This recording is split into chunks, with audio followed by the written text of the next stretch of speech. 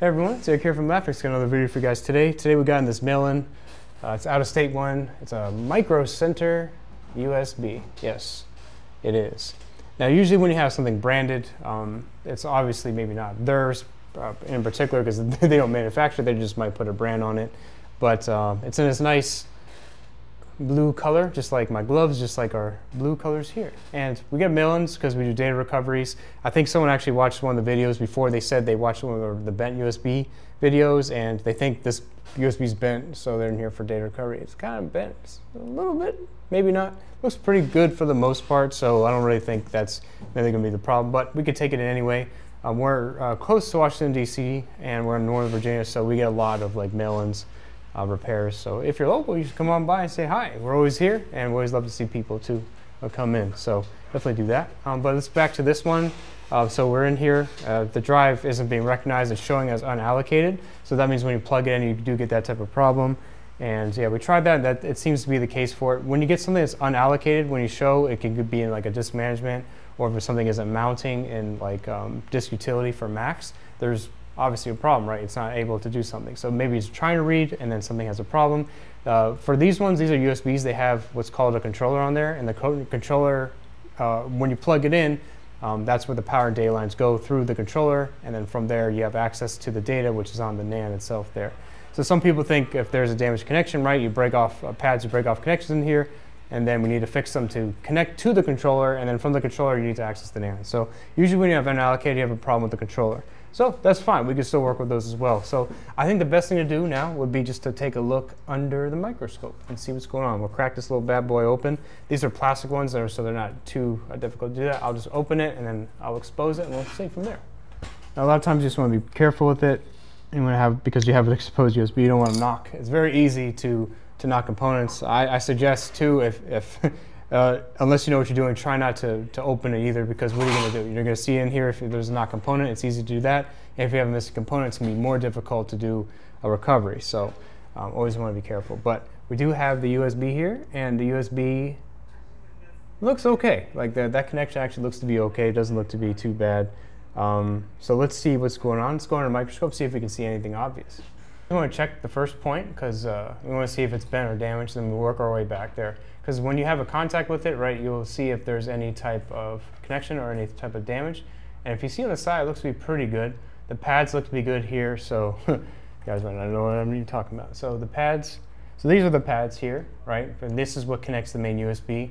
A lot of common USBs have like uh, four connections on there, and there's pads. And sometimes the pads can be lifted, which is which is bad too because if the pads are lifted, that's what connects the main USB power and data lines to the, the board, which communicate with other stuff.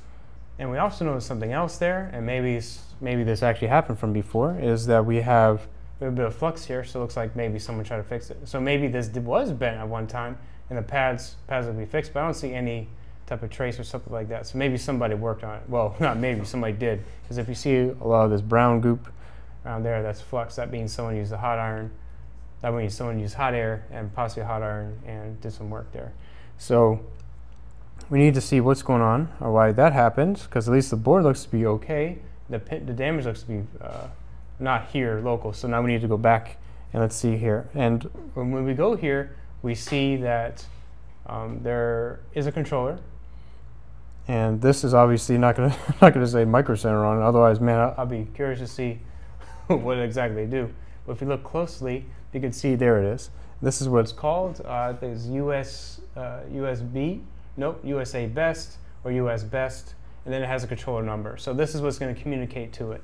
Um, some people, if, if you see damage to this controller, this is what's going to help read to the rest of it.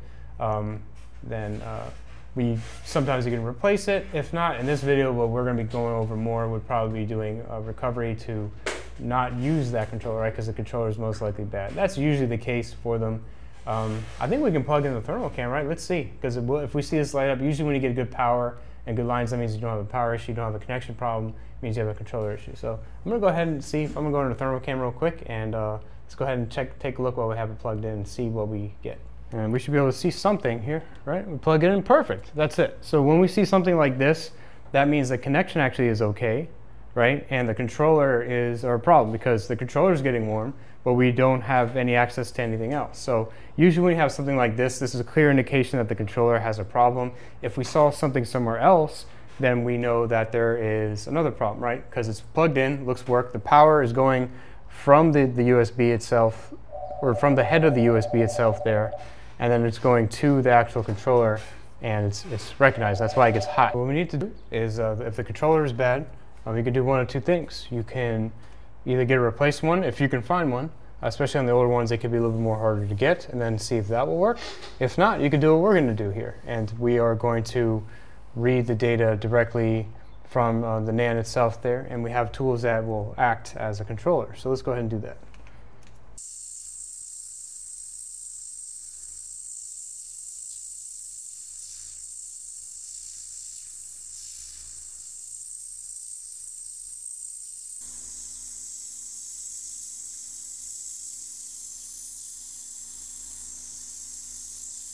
So we want to make sure this is all cleaned up.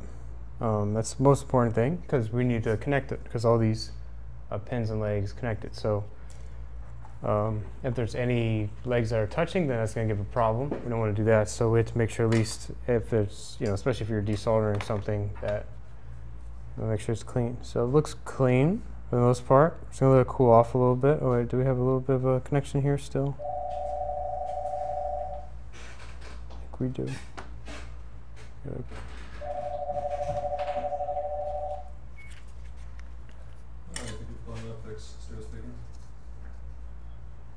What's going on? Do for you?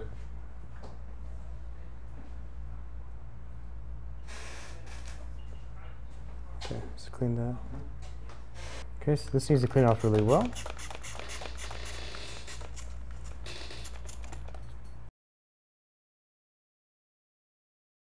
So it looks pretty clean.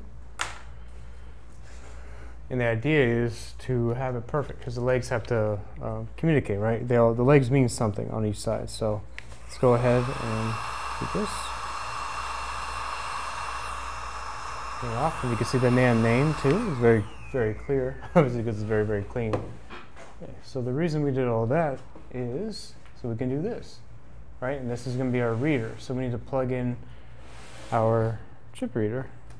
It's going to read this. Hopefully.